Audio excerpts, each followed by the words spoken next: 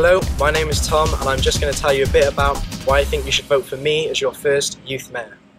Roughly a year ago, I decided to join the Vale Youth Forum as a representative for Stanwell School, where we provide feedback on and discuss various things that go on in the Vale from both a local to a regional level.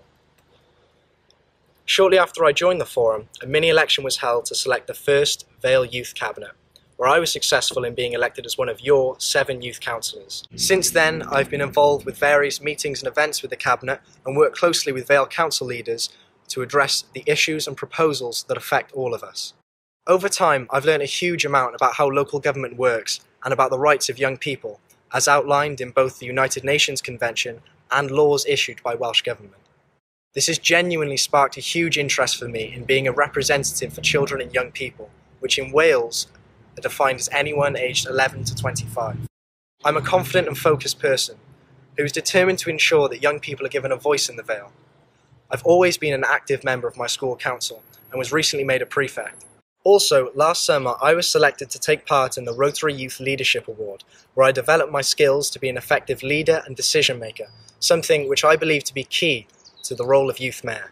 I aim to take the youth cabinet's work to an even higher level, but unfortunately, a lot of you probably didn't even know the Vale had a youth cabinet and don't know what we do. Unfortunately, three minutes is not nearly enough time to explain what we've done so far and what we aim to continue to do in the near future. I want to set up meetings with school councils, get to know you, let you get to know us and what we do, because after all, we're here for your sake, so it's wrong for you to be kept out of the loop. Once that's established, I want us to keep regular contact between clubs, schools, the Vale Youth Forum, and the Youth Cabinet to get young people involved in their local government, and for you to have an input into decisions that affect your local community. I've greatly enjoyed all the work I've been doing so far and would love to continue to do so in the role of Youth Mayor.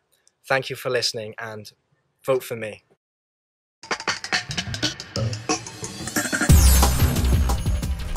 Oh, hello. I'm sorry, I didn't see you there.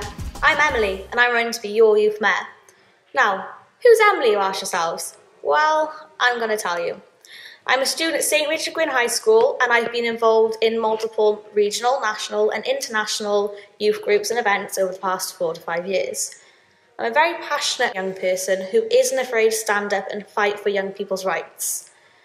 I'm not easily intimidated, and if the views of young people say that something isn't right and say it should change, I'm not afraid to stand up and fight for it. I'm a very committed and passionate young person, and I'm very passionate about getting young people's voices heard on higher levels. I'm for the past two years, I've been a very committed member of the Vale Youth Forum, and recently, in March, I was elected onto the Vale Youth Forum. But I have been involved in many other youth groups since the age of 11. I've also represented you, the youth of the Vale, on the Welsh National Youth Assembly. I've always been told that when you're doing something you're passionate about, you're changing the world. You're making it a better place. And that's what I aim to do for the Vale, make it a better place for young people. Normally, when politicians and other people try and make speeches to be elected onto something, they make many promises. But I'm not going to promise you anything right now because I want to know what you want. But I will pledge to you to give my all in the role of the youth mayor, and I will pledge to work closely with all the youth groups I can across the Vale to know what you guys want. So thank you for listening to why I should be elected as youth mayor, and I really appreciate you taking your time to listen. And remember, you've got to put something in to get something back out. So make your vote count and vote for me.